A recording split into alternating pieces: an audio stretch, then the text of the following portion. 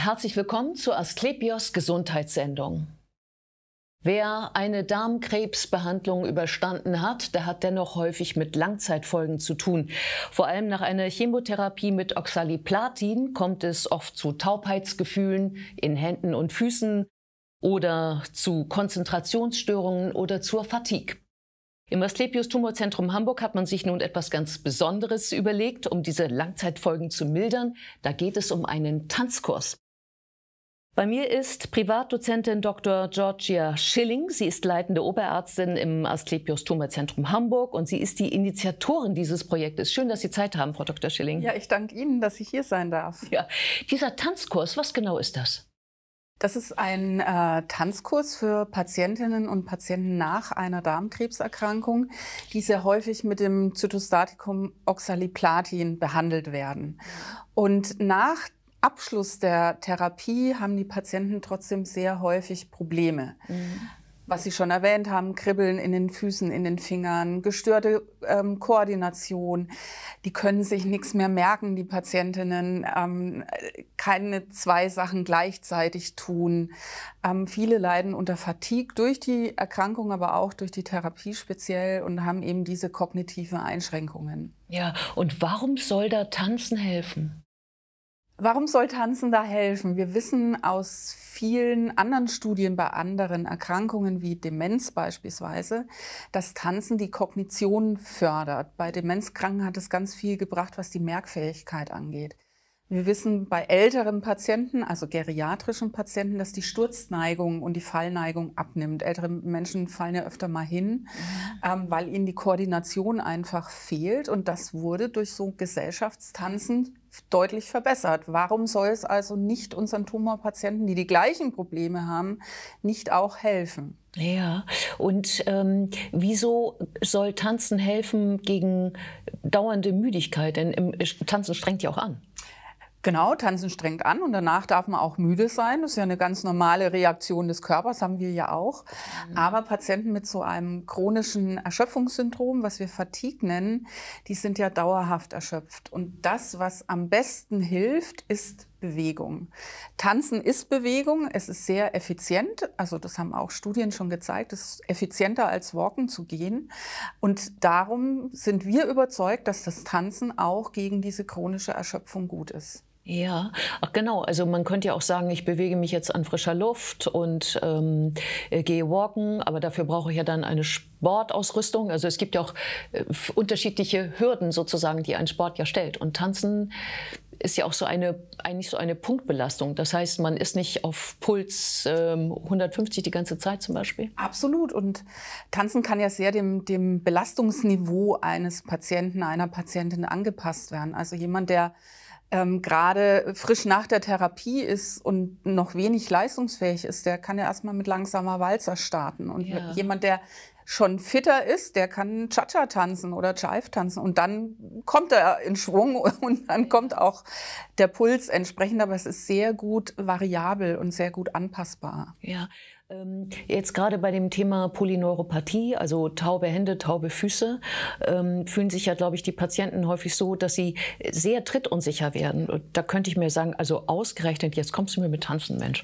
Also wie, wie ist, ist das nicht eine große, auch eine innere Hürde, die man da überwinden muss? Ja, aber das ist eine Hürde, die man überwinden kann. Mhm. Ähm, durch, durch das Tanzen und wenn man es langsam beginnt, wird die Koordination wieder geschult. Und mhm. nach jeder Tanzstunde, nach jeder Runde spüren das die Patienten. Mhm. Ich habe unseren aktuellen Tanzkurs besucht vor, vor zwei Wochen, also nachdem die Paare schon zehn Wochen getanzt haben. Mhm. Und ich war echt begeistert. Also am Anfang mussten die auf einem Bein stehen und waren total wackelig und sind umgefallen. Und jetzt standen die wie, wie die Einsen schon nach ja. drei Monaten Tanzkurs. Also ja. ganz erstaunlich. Und Musik spielt, glaube ich, auch noch eine Rolle, oder? Natürlich, das ist ja Wohlfühlen. Und äh, es ist, hat natürlich auch was mit dem Kontakt zum Partner zu tun. Also Tanzen ist auch sehr sozial. Also man kommt sich wieder näher. Man tanzt ja in der Regel nur mit Menschen, die man auch gern anfasst, mit denen man auch gern nahe ist. Und wir wissen ja auch, dass sich eine Beziehung durch eine Tumortherapie und durch die Erkrankung auch verändert oder auch entfremden kann. ähm, auseinandergehen kann. Und auch die soziale Komponente beim Tanzen ist uns extrem wichtig. Mhm. Und ganz viele von den Paaren sagen, ich habe richtig Quality Time mit meinem Partner. Nur wir beide sind füreinander da. Also ja. auch das darf man nicht vergessen. Kann ich denn nur zu Ihnen kommen, wenn ich einen Lebenspartner habe? Oh nein. es sollte ein sozial enger Kontakt sein. Es ist uns auch egal, ob äh, die Paare Mann und Frau sind oder Mann und Mann und Frau und Frau. Also wir haben gerade aktuell zwei ältere Damen, die miteinander tanzen. Das sind Nachbarinnen, die füreinander sorgen und das zusammen machen. Das ist also vollkommen egal. Mhm. Ähm, Sie hatten eben gerade gesagt, die, also die, die Teilnehmer des Kurses, so, so nenne ich die jetzt mal, sollten zu Beginn auf einem Bein stehen. Das war sicherlich Bestandteil eines Testes. Ähm, das war Bestandteil der Aufwärmübungen ah. für das Tanzen, okay. wobei wir natürlich auch untersuchen wissenschaftlich, was erreichen wir. Das ist ja unser Ziel ist auch zu zeigen, Tanzen wirkt sich positiv auf diese Langzeitfolgen aus. Ja. Das heißt, vor dem Tanzkurs machen wir eine Reihe von Befragungen bei den Patienten und auch neurologische Untersuchungen. Ja. Und das wiederholen wir am Ende des Kurses und dann auch noch mal drei Monate später, um eben zu zeigen, Tanzen ist effektiv. Also mhm. wir wollen auch die Evidenz schaffen, durch diesen Tanzkurs zu zeigen, Tanzen bringt was. Mhm. Das wüsste ich noch mal gern genauer, sofern man das schon sagen kann. Also das ist, glaube ich, diese sogenannte Rezidivprophylaxe, also verhindern, dass äh, der Krebs wieder auftaucht oder ihn zumindest verlangsamen oder? Ja. Also das ist ja was, was wir allgemein von Sport und Bewegung denken. Das ist jetzt fürs Tanzen nicht, untersucht, das ist auch nicht Gegenstand dieser Studie, weil da braucht man einen ganz langen Verlauf. Aber natürlich sind wir überzeugt davon, dass jede Art von Bewegung dazu beiträgt, auch mhm. natürlich die Lebensqualität zu verbessern. Aber wir wissen ja auch, durch Sport und Bewegung kann ein Rezidiv auch verhindert werden, wenn das in einer bestimmten Intensität auch durchgeführt wird. Mhm. Aber uns geht es vor allem darum zu zeigen, wir verbessern die Lebensqualität der Patienten. Wir verringern psychologischen Distress. Wir verringern den einfach durch den Tanzkurs. Das ist was, was wir untersuchen. Wir untersuchen die Polyneuropathie, wie sich das Kribbeln verändert. Man kann das ja durchaus auch mit feinen Instrumenten messen. Und wir untersuchen, wie verbessert sich denn das Merkvermögen der Patienten. Mhm. Und wie verbessert sich das soziale Miteinander. Das sind mhm. unsere Hauptziele. So, und wenn ich mir jetzt überlegen würde, ähm, äh, ich würde erwägen, zu Ihnen zu kommen, dann kenne ich das ja noch so aus meiner Teenagerzeit. Da gibt es dann einen A-Kurs, gibt es einen F-Kurs, dann gibt es ähm, Bronze, Silber, Gold. Das heißt, da wird man klassifiziert, da wird man eingeteilt in Klassen. Wie ist denn das bei Ihnen? Das ist total egal und ganz gemischt. Ähm, wir haben im aktuellen Kurs keine Tänzer.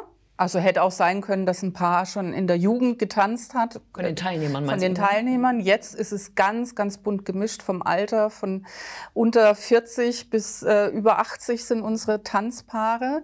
Und in dem jetzigen Kurs alle ohne Vorkenntnisse, alle auf einem unterschiedlichen Niveau. Aber dafür haben wir die Profis an der Hand in der Tanzschule, mit der wir das machen. Die passen dann die die, den Tanz auf das Niveau der Teilnehmer auch an. Ja, die zumal die auch, auch der Therapie, das Therapiestadium sehr unterschiedlich sein kann, oder? Das sind ja alles Patienten nach einer Therapie. Also ja. die Therapie ist abgeschlossen, es ist nur unterschiedlich, wie lange diese Therapie Ja, oder dann sage ich mal, wie stark die Nebenwirkungen sind. Also genau. Das ist ja sehr genau. unterschiedlich dann. Das ist unterschiedlich. Aber das können wir ja dann durch die wissenschaftlichen Messungen, die wir durchführen, dann auch entsprechend einteilen. Ich komme nochmal zu der Polyneuropathie, also diesem Kribbeln. Ähm, die Polyneuropathie kann sich ja auch durch Schmerzen äußern. Mhm. Das würde mich davon abhalten, zu Ihnen zu kommen. Haben Sie da eine Idee? Ähm, Polyneuropathie äußert sich häufig durch Schmerzen in der Ferse beim Auftreten. Können auch andere Schmerzen sein. Es gibt durchaus Medikamente, die sich in Studien bewährt haben gegen die schmerzhafte Komponente der Polyneuropathie. Ich denke jetzt an ein bestimmtes Antidepressivum, was wir auch einsetzen, um den Schmerz zu behandeln. Mhm. Aber dieses Medikament hilft auch wirklich nur gegen den Schmerz und mhm. nicht gegen Kribbeln, Taubheitsgefühl und so weiter. Also wäre vielleicht ganz sinnvoll in so einem Fall, wo jemand auch eine schmerzhafte Komponente hat, das miteinander zu kombinieren. Ja, genau. Und dann den Therapeuten darauf anzusprechen, dass man den Kurs machen möchte und ob man nicht vorab ähm, mit diesem ähm, Antidepressivum vorgehen könnte. Das muss dann mit dem behandelnden Genau, Arzt mit dem- besprochen werden. Genau. Ähm, um, äh, wo, wo findet dieser Kurs statt? Um mal über das Wichtigste überhaupt zu reden. Ja, Genau, der wo Kurs findet statt in der Tanzschule von Isabel Edwardson, die bestimmt der ein oder andere aus Let's Dance kennt. Sie ist eine der Profitänzerinnen da und äh, wir tanzen in einem ihrer Studios in der Hafen City.